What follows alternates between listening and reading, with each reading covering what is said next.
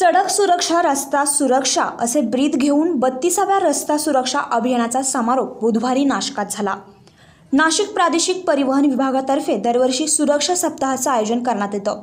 मात्र यंदा अपघाताचं प्रमाण वाढल्यानं सप्ताहाऐवजी महिनाभर वाहतूक सुरक्षा अभियान पाळण्यात आली.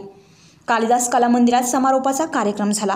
अपघातात होण्यामागच्या कारणांचा शोध घेऊन त्यावर उपाययोजना करण्याची गरज आहे. त्यासाठी यापुढे अपघात होण्यामागच्या कारणांचा शोध घेऊन त्यावर उपाययोजना करण्याची गरज आहे.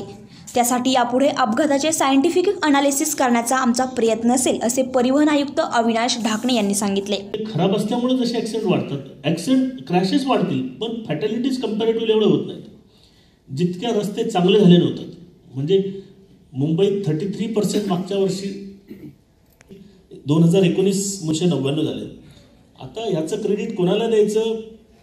ॲडमिनिस्ट्रेशनने घ्यायचं पोलिसांनी घ्यायचं कॉर्पोरेशनने घ्यायचं की मेट्रोच्या कामांनी घ्यायचं? हे अनालिसिसच ठरवेल त्यामुळे तुमचा स्पीड आपोआप कमी झालेला आहे. हा अनालिसिस हा मागे आपल्याकडे सायंटिफिक अनालिसिस तसं होत नाही.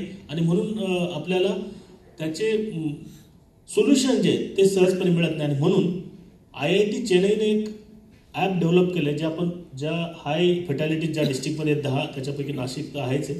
अशा ठिकाणी लोकांना प्रशिक्षण दिले. सगळ्या विभागाच्या पोलीस असतील R T O public health सगळ्या लोकांना. आणि त्याच्यातून आपल्याला ॲटलिस्ट याच्यापुढे क्रॅश जर झाला फेटॅलिटी झालं त्याचं सायंटिफिक अनालिसिस आपल्याला करता येईल. ह्या दृष्टिकोन त्याचा उपयोग होईल. प्रादेशिक परिवहन विभागात प्रामाणिकपणे कर्तव्य बजावणाऱ्या अधिकारी आणि कर्मचाऱ्यांचा यावेळी सन्मान करण्यात आला.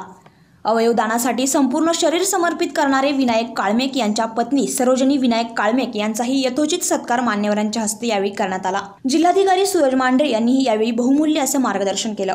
कार्यक्रमात विभागीय आयुक्त राधाकृष्णन गमे पोलीस आयुक्त दीपक पांडे यांनीही आपले मनोगत व्यक्त केले. कार्यक्रमास प्रादेशिक परिवहन अधिकारी भरत कळसकर ग्रामीण पोलीस अधीक्षक सचिन पाटील प्रादेशिक परिवहन विभागाचे अधिकारी आणि कर्मचारी यावेळी उपस्थित होते.